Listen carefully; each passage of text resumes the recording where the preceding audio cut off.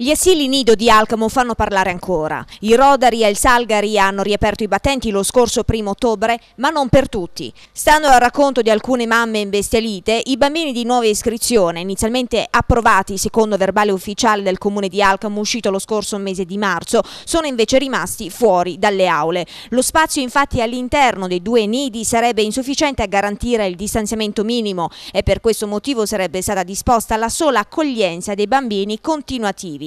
Il problema più grave è che le mamme dei nuovi iscritti non sarebbero state avvisate in alcun modo di questa nuova decisione e neppure a tempo debito quando avrebbero potuto provvedere a cercare altrove. Adesso invece con gli asili privati già al completo e il lavoro che costringe le neomamme a lasciare i figli in un posto sicuro, il disagio è enorme.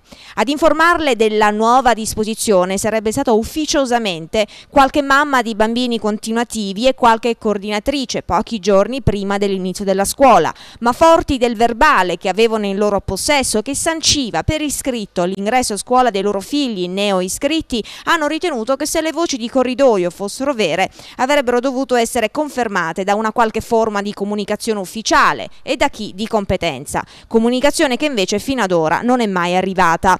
Le mamme in difficoltà, secondo le segnalazioni, sarebbero al momento una decina, ma non sono organizzate in modo del tutto compatto, quindi potrebbero essere di più. Hanno esposto la loro polemica pubblicamente tramite i canali istituzionali e via PEC, ma non hanno ricevuto ancora risposta. In modo congiunto stanno adesso valutando di adire le vie legali contro il Comune.